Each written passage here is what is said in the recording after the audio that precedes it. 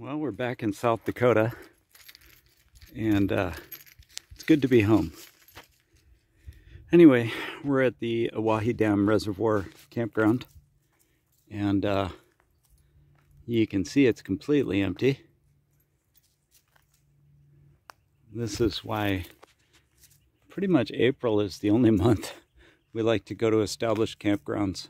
April and maybe November because, you know, you get the whole place to yourself. It's just amazing.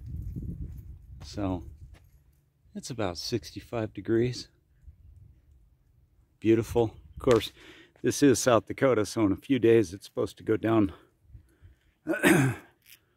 to, uh, I think we're going to get a high of about 40 and a low of about 23 at night. So, it'll be a little on the cool side.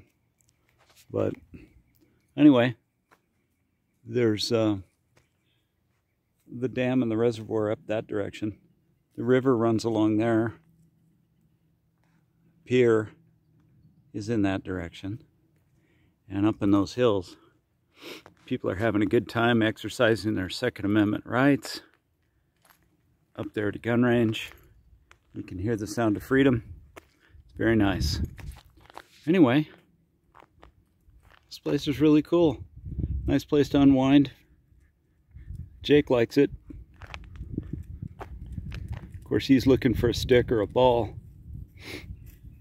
or something to pee on.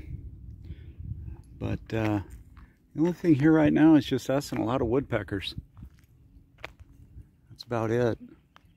Anyway, I'll check in with you later.